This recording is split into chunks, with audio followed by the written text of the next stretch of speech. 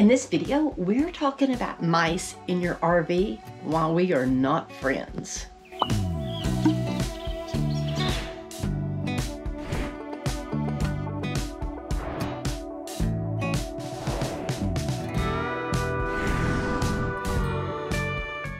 Mice in an RV, they are not friends. You cannot be friends with a mouse in an RV. They have teeth that continuously grow and they need to chew to keep them in check. That means that they will chew on your wiring, your plumbing, your wood, anything that they can get to that they can chew on, they will chew on it.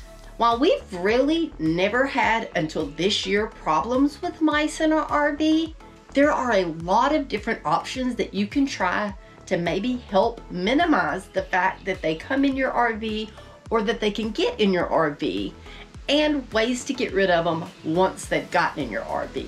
What works for one person may not work for another person. Everybody has a different opinion on how to get rid of mice.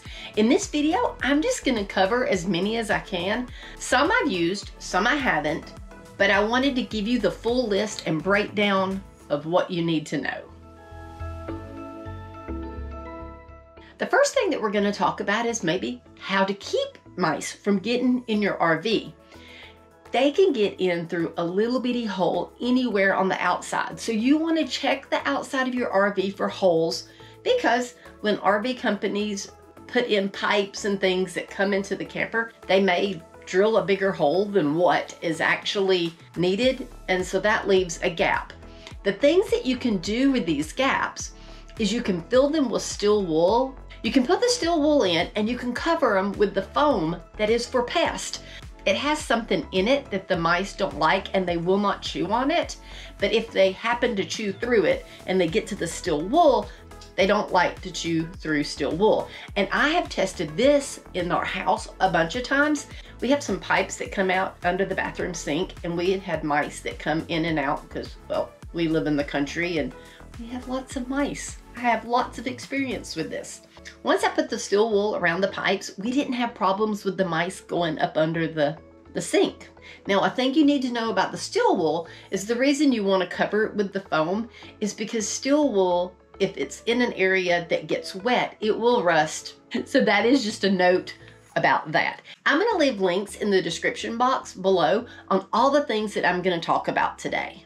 Now, you can also, instead of steel wool, you can get like a galvanized mesh with a very small hole that they can't get through and they won't chew through that. But don't use an aluminum wire because mice can chew through aluminum. Make sure you get a steel wire mesh and not aluminum mesh because it will make a difference. Like I said, the steel wool can rust if it's in an area that gets wet, they do make a copper mesh that is like the steel wool that you can use in the place of steel wool if it's a place that's gonna get wet that you don't want to put the foam over the top of it. While I have tried this, it didn't seem to work for us, but they say Irish Spring is something that you can put in your RV. You buy the bars of soap and cut them up and then you put them all over the place.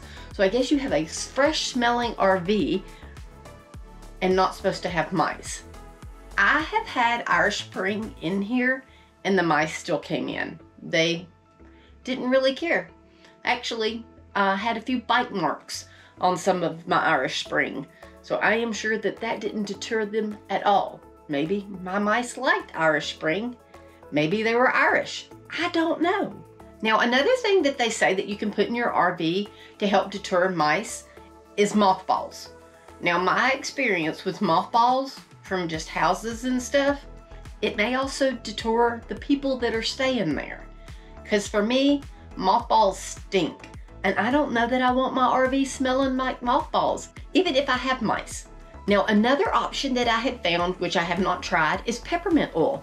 I saw a bunch of people say that you can take cotton balls and put peppermint oil on the cotton balls and throw these cotton balls around it will deter the mice from coming in. They don't like the smell of peppermint and that it will keep them away. And that, I think your RV might smell good. Dryer sheets are also another deterrent that people say works. Haven't tried it, but they say that is another thing that you can try. They have little sonic machines that go in your house that put out noise. And if you have pets, sometimes that can affect your pets.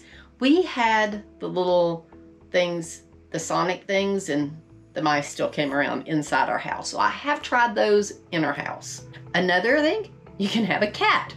If you get a lazy cat, it might not work. But if you have a cat that likes to explore, a cat in your RV can help keep mice out. Now, the next thing we're going to talk about is how do you know you have mice? Well, I'll go ahead and tell you. You'll start finding little things in your little cabinets here and there and everywhere. They will start pooping and you will see the poop. When you see the first sign of poop, most likely you have multiple mice. And it won't take long before that little poop turns into a lot of poop. And you have to get on it then to keep them from tearing up your RV because mice can wreak havoc on your RV. They can wreak havoc on your home too. They can mess up a lot of stuff, and especially in an RV with so much electrical wires and stuff that are just kind of hanging around, it will really mess you up. You can get no-kill traps for mice. I personally have never used these. This is where things are gonna get a little sensitive. I feel like if I catch the mouse and I put him outside after I've caught him, he's gonna come right back because he knows where he was getting food, he knows where he was getting his last meal. He's just gonna come back. Now I guess you could take him, drive him down the road for five or 10 miles and drop him out. My idea of getting rid of them is getting rid of them. Now, there's quite a few options in this category that you can do. One, you can use a regular mouse trap that snaps. But in the past, I've learned that a lot of times they just get a free meal. They'll grab whatever's off of the end of it, it'll snap, and they're quick enough, they get away before it snaps on them.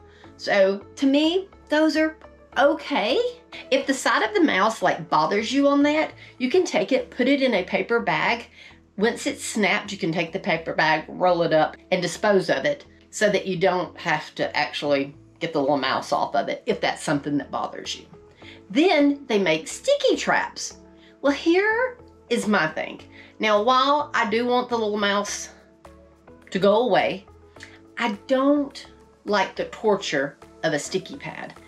I've done sticky pads in the past and typically I usually find the mouse is still alive on the sticky pad.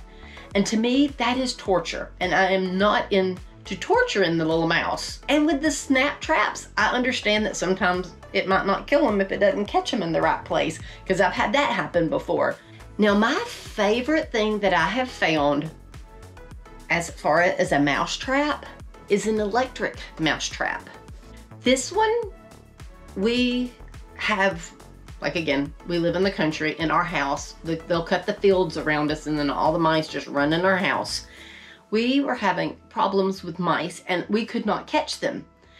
They, uh, the mouse traps would snap, they wouldn't get on there. That was when I tried the sticky trap, found a couple of them, but they have to run over the top of it to catch them, which you put them along the walls. This here has got batteries and you just, you turn it on like this.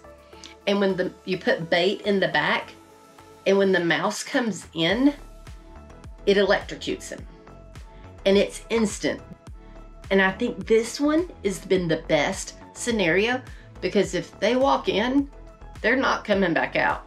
There's no way, I've not had the bait gone on this and no mouse.